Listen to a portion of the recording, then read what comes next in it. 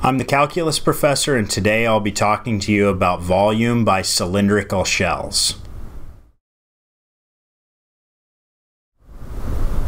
In problem number 27, we'd like to use the shell method to find the volume of a right circular cone of radius 3 and height 8. 8. Okay, so we want to find the volume of a cone we have formulas in geometry to do such things, and we can certainly use those formulas from geometry to check our work at the end if we want to. But let's see how we would set this up using a shell method. So first of all, I know I want a cone of radius 3 and height h. So I have to think for a second, what kind of a shape do I need to set up here so that when I revolve it around one of the axes, I actually get a cone. So this is the way I'm going to do it. This is not the only way. Uh, there are many ways to set this problem up. I'm just using one of them. So what I'm going to do is I'm going to say, okay, what if we went out here and uh, let's say I went out here eight units.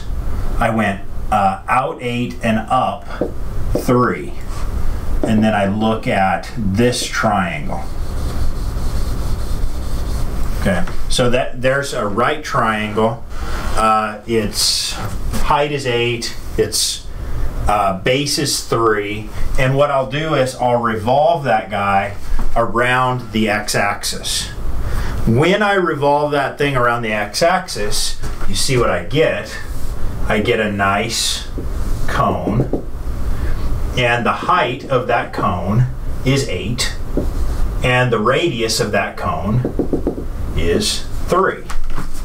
So I get a cone of height 8 and radius 3, which is exactly what I want. So if I spin this thing around the x-axis, I get the cone I'm looking for, and I want to use the shell method to get the job done wise with the integration. So what I want to do is I want to say, okay, I want shells. And the way that I'm going to get shells is cutting horizontal strips and spinning them around the x-axis. And you can see a typical shell right here. Okay, I'll say that that's at a point x. So using the shell method, I want volume is equal to, okay, what are we integrating to and from? So that's asking the question, when I make these vertical, I'm sorry, these horizontal slices, do I want to, uh, where do I start cutting? Where do I stop cutting? And I start cutting this thing at y equals 0. I stop cutting this thing at y equals 3. By the way, the chops that I'm making would cut up the y-axis, not the x-axis. And since I'm cutting up the y-axis, I know that I need all the stuff inside the integral to involve y, including the limits of integration. They should be y values. So I start at y equals 0 and I stop chopping when I get to y equals 3. So I'm integrating from 0 to 3. And then what goes inside is 2 pi r for, why did I write x right here? I'm sorry. I should have written a y right here. This is a typical y value, not a typical x value. So, um, what do we got here? uh, for this typical y value, how far is it to the center? Well, it's y. So that is the radius is y. And then we need the height of that typical cylinder, which is the top function minus the bottom function. The top function in this case is x equals 8, so 8. And the bottom function is this line.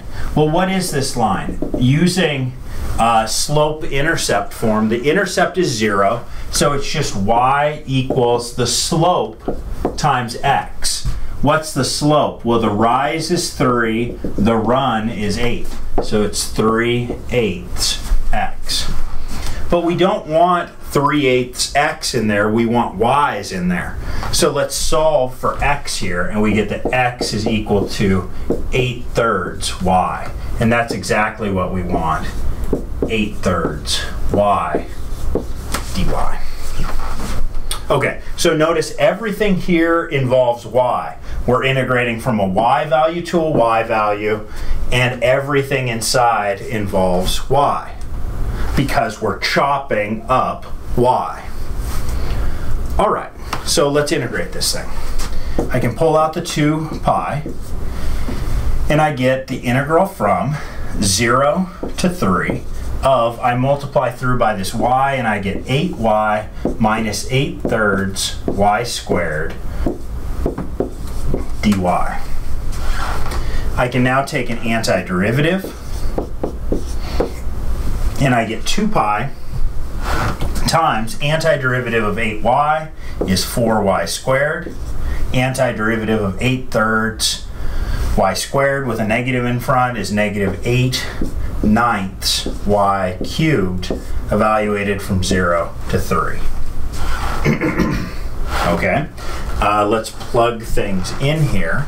If I do, I get 2 pi times, plug in a 3, 3 squared is 9, times 4 is 36. Plug in a 3, 3 cubed is 27.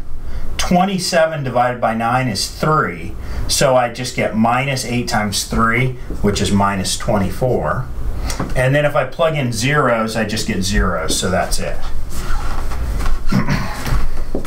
so we get 2 pi times 36 minus 24. 36 minus 24 is 12. And so my answer is 24 pi.